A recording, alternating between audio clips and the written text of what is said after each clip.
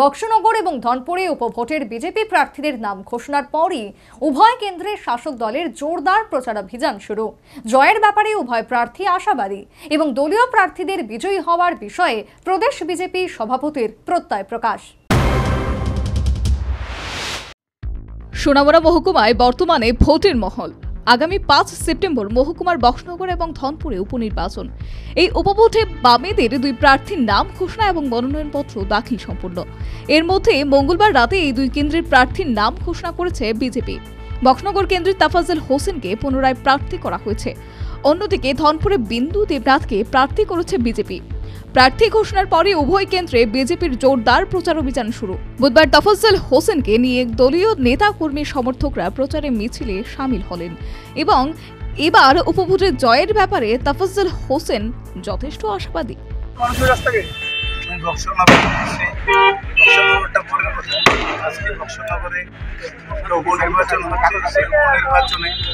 আমি প্রথম ধন্যবাদ জানাব আমাদের ভারতবর্ষের প্রধানমন্ত্রী নরেন্দ্র মোদীজিকে, কারণ আমাকে বিশ্বাস করে, আমাকে দ্বিতীয়বারের জন্য আবার প্রার্থী করেছে তার সাথে সাথে আমি আরও ধন্যবাদ জানাব আমার হৃদয়ের অন্তঃস্থল থেকে, আমার ত্রিপুরা রাজ্যের মুখ্যমন্ত্রী, যশস্বী ডক্টর মানিক সাহজিকে কারণ এই উপনির্বাচনে আমাকে ভারতীয় জনতা পার্টি প্রার্থী করার জন্য।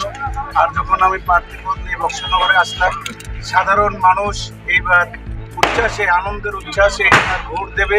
এবার বক্সনগর প্রার্থীকে বিজিত করে বিধানসভায় পাঠাবে, বিজয়ী করে। সেই মানুষের যে উচ্ছ্বাস উচ্ছ্বাসে বোঝা যাচ্ছে। বক্সনগরের মানুষ এইবার শুধু পাঁচ তারিখের অপেক্ষা আছে। কোন শুধু দলীয় প্রার্থীরাই নয়, উপভোটে উভয় কেন্দ্রের দলের প্রার্থীদের জয়ের ব্যাপারে বিজেপির রাজ্য নেতৃত্ব যথেষ্ট আশাবাদী এবং নিশ্চিত।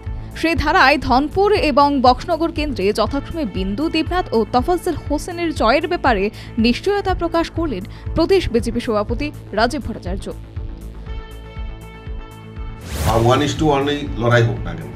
আমরা দৃঢ় চিত্তে বলতে পারি দুই হাজার তেইশে এই জোট ঘোটের যে রেজাল্ট আমরা দেখেছি, দীর্ঘ পঁচিশ বছর ধরে এই রাজ্যে কমিউনিস্টের শাসন ছিল, আর এই কমিউনিস্টরা আজকে বিরোধী দলের তকমা পর্যন্ত হারিয়েছে। আর যেই কংগ্রেস এত বছর বিরোধিতা করে, এই ত্রিপুরা রাজ্যে তার রাজনৈতিক অবস্থান ছিল। আজকে শুধু কয়েকজনের তাদের ব্যক্তিগত রাজনৈতিক চরিত্রকে চরিতার্থ করার জন্য সেই কমিউনিস্টের সঙ্গে আতাত করে দুই হাজার তেইশে নির্বাচনে লড়াই করেছে। আজকে দুই হাজার তেইশে তার রেজাল্ট ত্রিপুরা রাজ্যের মানুষ সেটা দেখিয়েছে। তো এই কারণে জোট, ভোট যাই হোক বা ওয়ান ইস টু ওয়ান লড়াই হোক না কেন আমাদের দৃঢ় বিশ্বাস যে আগামী যে আমাদের দুটি বিধানসভা নির্বাচন হচ্ছে, উপনির্বাচন হচ্ছে। এদিকে বক্সনগর এবং ধনপুরে বামেদের এই উপভোটের প্রচারে মগ্ন তারা। এর মধ্যে মঙ্গলবার রাতে বিজেপি উভয় কেন্দ্রের প্রার্থীদের নাম ঘোষণার পর পদ্মা শিবিরও দুই প্রার্থীকে নিয়ে জোরদার প্রচার অভিযানে নেমে পড়েছে। তাতে সোনামুড়া বক্সনগর এবং ধনপুরে বর্তমান জমজমাট ভোটের মহল। Bureau report, news Vanguard.